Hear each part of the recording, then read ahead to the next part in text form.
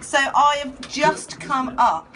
How many steps is it that we've just come up? 232. 232 steps up the inside of the Wellington Monument, and this is very special because obviously it is shut generally because it's not quite safe. And I've come up even more special with the Duke of Wellington himself, Your Grace, and uh, you have never been here before. have No, you? I've never been here, but nor have you, I think, Rebecca, this high.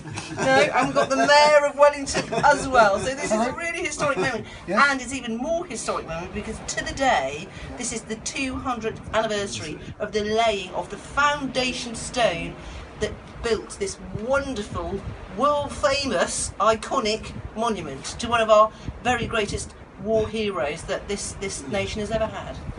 It's very special, isn't And it's a great privilege to be allowed up. Uh, Yeah. and I'm very Absolutely, thank you. grateful to be allowed to climb it. Something, sadly, my ancestor never did because it wasn't finished till after he died.